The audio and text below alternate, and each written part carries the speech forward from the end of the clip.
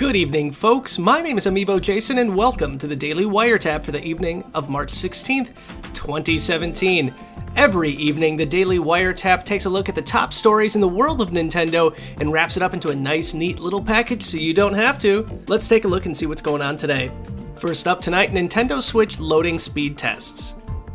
The Nintendo Switch seems to be built around the user getting expandable memory by way of micro SD cards, assuming they will be shelling out for digital games.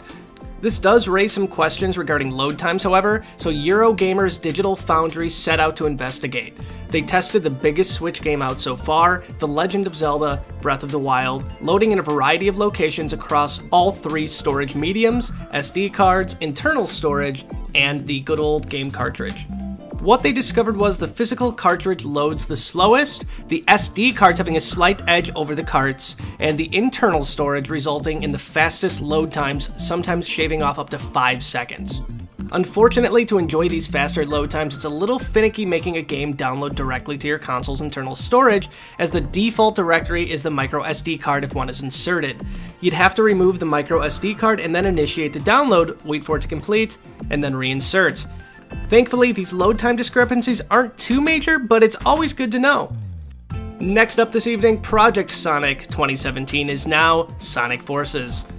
The gameplay world premiere for Sonic Forces was unveiled at the Gotta Go Fast panel at South by Southwest. Taking inspiration from both Sonic Generations and Sonic Colors, the new entry in the Sonic franchise looks fast, fluid, and fun. Not much gameplay was shown, but plenty of information was given out on the title that will hit shelves this holiday season. First of all, the engine that's been behind some of Sonic's best games has been rebuilt from the ground up for Sonic Forces, with a specific emphasis on rendering lighting and shadows quickly. The revamped Hedgehog Engine 2 aims to ensure that Sonic Forces will look even better than ever. It was also revealed that there's going to be three styles of gameplay. This was also revealed a few months back, but it's been confirmed that Sonic Forces will contain gameplay from modern Sonic, classic Sonic, and a third unknown character that will tout its own unique style of play. The gameplay shown at the panel featured modern Sonic blazing through the city as it was being attacked, and it looked absolutely gorgeous. Look for more details on both classic Sonic levels and the new style in the coming months. And finally, there's several returning elements. Music has always been a strong point in Sonic games, and it seems that trend will continue with Sonic Forces. A sample track was played at the event, and it sounded just as catchy and upbeat as you would expect from a Sonic game.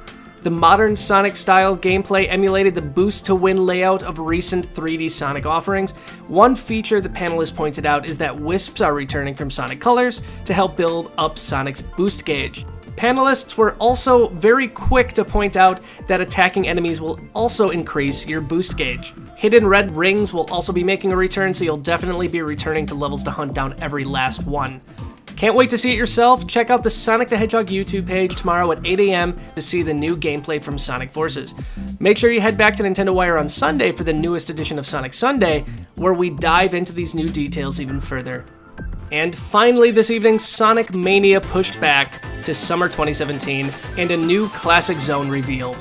The highly anticipated Sonic Mania was originally slated for a spring 2017 release, but has been pushed back to summer instead. No details have been provided about a specific release date yet. But we do have some good news. A new Classic Zone has also been revealed for Sonic Mania. The fan favorite Flying Battery Zone from Sonic the Hedgehog 3 and Knuckles will make its grand return in the upcoming Sonic title. In the meantime, you can take a look at the amazing Flying Battery Zone trailer right here, right now. And that's going to wrap up another installment of the Daily Wiretap for the evening of March 16th, 2017. As always, you can find a link to the full written article down in the description below. And if you're looking for more amazing Nintendo coverage, head on over to NintendoWire.com where we have more of it than we know what to do with. So come on over and get some. See you guys tomorrow!